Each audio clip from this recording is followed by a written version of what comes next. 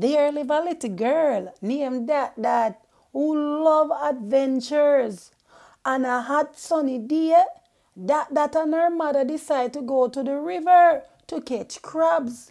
They pack a picnic basket with rice and chicken and DotDot favorite soda and some fruits.